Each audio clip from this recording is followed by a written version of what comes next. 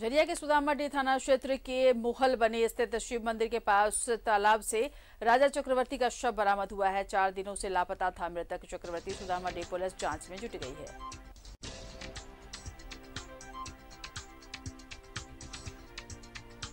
चार दिनों से लापता था मृतक चक्रवर्ती, जिसका शव मिला है।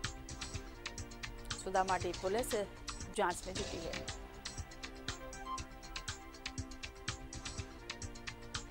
तालाब से राजा चक्रवर्ती का शव बरामद किया गया।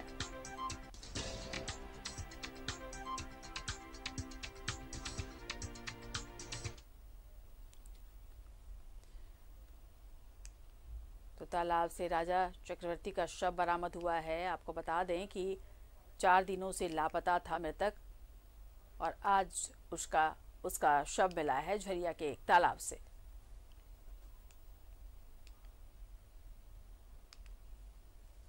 तालाब से राजा चक्रवर्ती का शव बरामद किया गया है। चार दिनों से वो लापता था और आज उसके शव मिलने से आसपास के जो लोग हैं, जो स्थानीय लोग हैं, उनमें दहशत फैल गई है।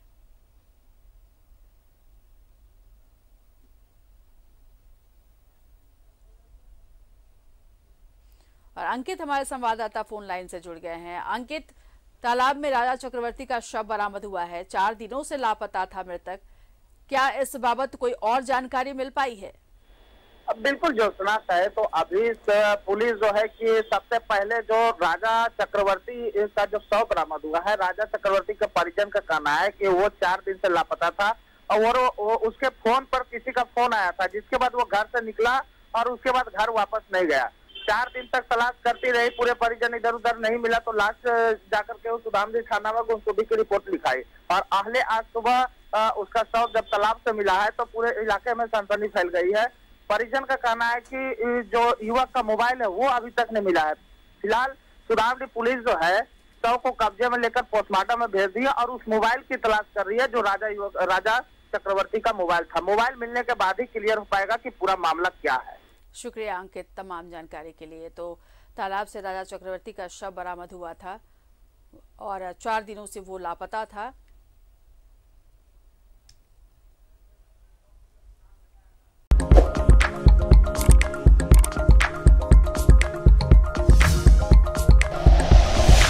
Like and share videos, subscribe करें हमारा चैनल और प्रेस करें बेल आइकॉन न्यूज़ 11 भारत सच है तो दिखेगा।